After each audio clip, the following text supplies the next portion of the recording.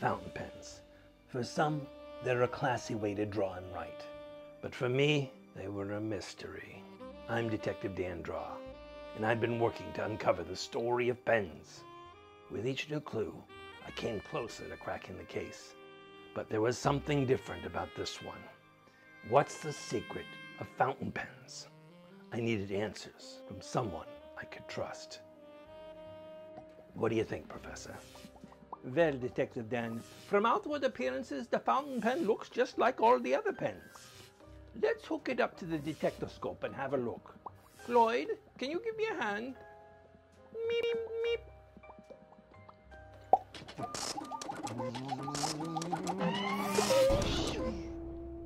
Look at the fountain pen. Meep, meep. There's something inside it.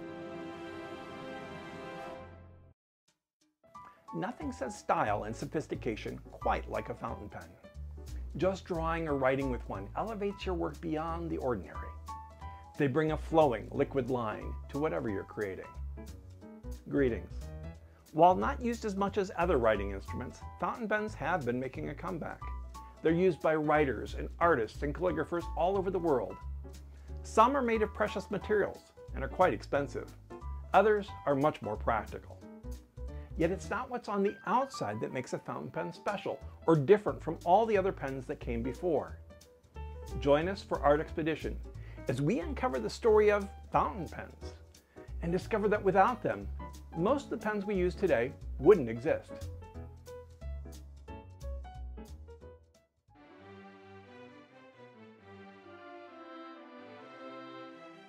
By the mid 1800s, most people had switched from writing with quills to metal dip pens. Thanks to advances brought on by the Industrial Revolution, these pens were strong, inexpensive, and available. With the growth of public education and the accessibility of dip pens, more people were writing than ever before. But like the quill, and earlier the reed pen, metal pens require dipping in a bottle of ink. No sooner do you start writing than you run out of ink and have to dip again, and again, and again. This repeated back and forth from bottle to page meant that the paper was in constant danger of being spilled on and spattered. Whoops.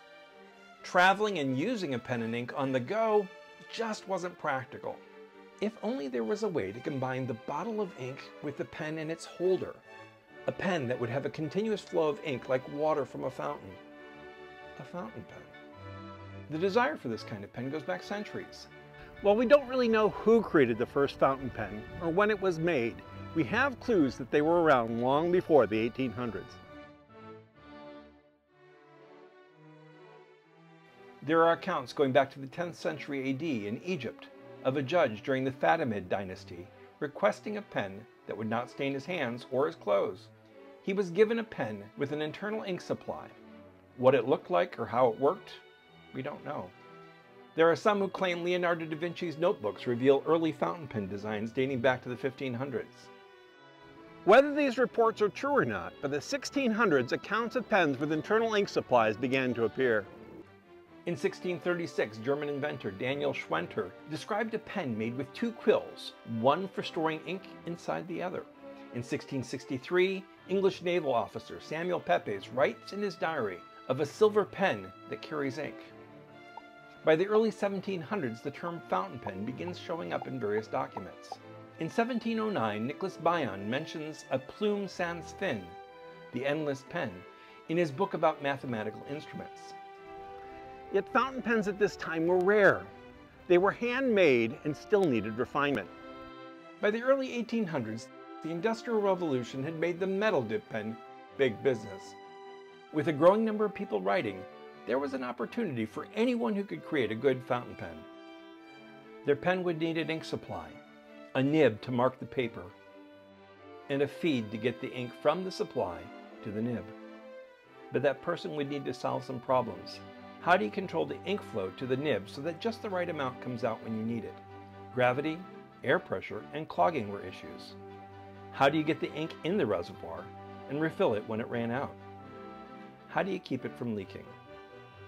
There were some who were willing to try.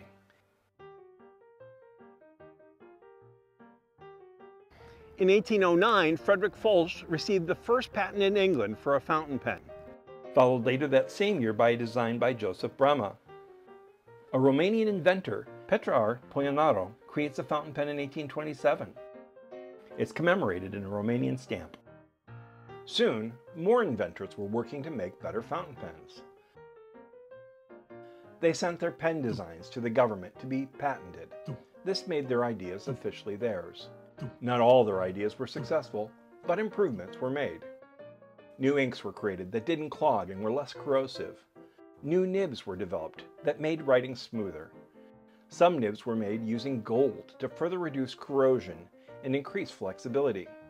Iridium, a platinum group metal, was added to provide strength.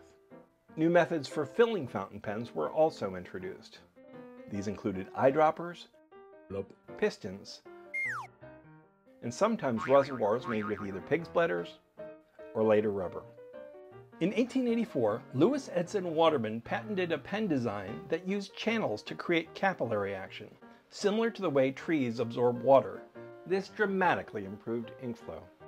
George S. Parker patented his Lucky Curve pen in 1894. His swooped feed design sent ink back into the barrel after use to prevent leaks. William Purvis advanced the fountain pen with his design, patented in 1890. His feed used an elastic tube that regulated the flow of ink. As the 20th century quickly approached, fountain pens were rapidly improving. People began to buy these newfangled contraptions.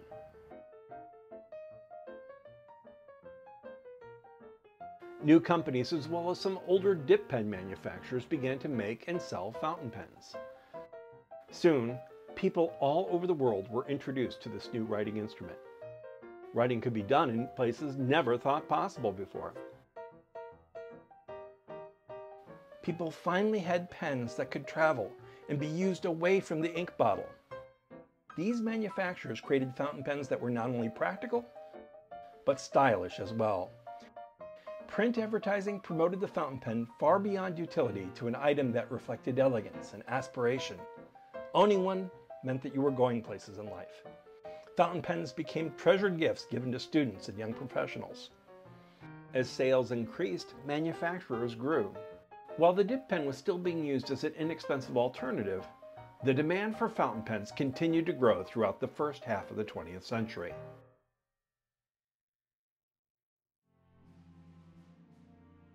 Then, the ballpoint pen was introduced. As this new writing instrument surged in popularity, the fountain pen began to fade into the past. But unlike the quill, the fountain pen has been making a comeback. It started with collectors, drawn to the unique classic styles of long ago. Pen manufacturers took notice and began to create new designs. Soon, a new generation of people began to experience the uniqueness of writing with a fountain pen for themselves.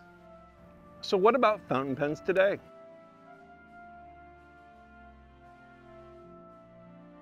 Most modern fountain pens use ink cartridges, introduced in 1953.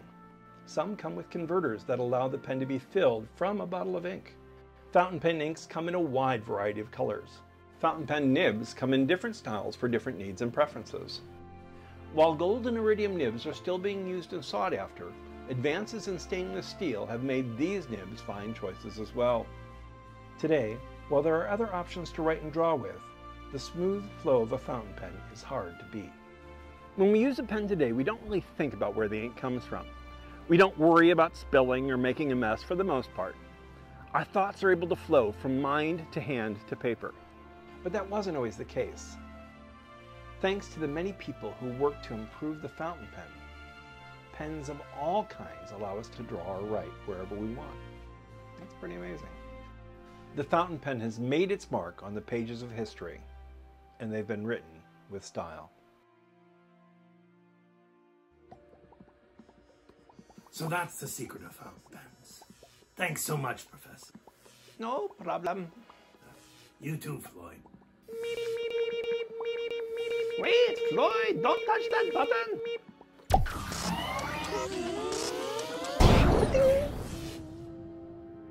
What is that?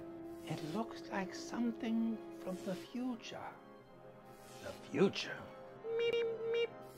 And with that, the next chapter was about to begin.